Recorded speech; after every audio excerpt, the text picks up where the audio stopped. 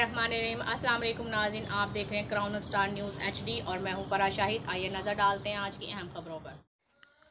खबर शामिल करेंगे मुजफ्फरगढ़ से, जहाँ पे ब्यूरो चीफ जुनेद अली अब्बासी के मुताबिक मुजफ्फरगढ़ थाना सिटी पुलिस ने मंशियात फरोशों को रंगे हाथों गिरफ़्तार कर लिया। तफसीत के मुताबिक district police officer Mohammad Hasan Iqbal की हदायत और जेर निगरानी डीएसपी सिटी एसएचओ आलम शेर एएसआई मोहम्मद असगर, और सिक्योरिटी ऑफिसर मोहम्मद इमरान ने कार्रवाई करते हुए बदनामी जमाना मंशियात फरोश, रियाज बब्बर को मंशियात फरोश करते हुए गिरफ़्तार कर लिया है, जिसके कब्जे से एक हज़ार अस्सी ग्राम चर्स बरामद की गई है और मुकदमा दर्ज करते हुए मुलजिम को हवालात में बंद कर दिया गया। समाजी हलकों की जानी से पुलिस टीम को खराज तहसीन पेश किया गया।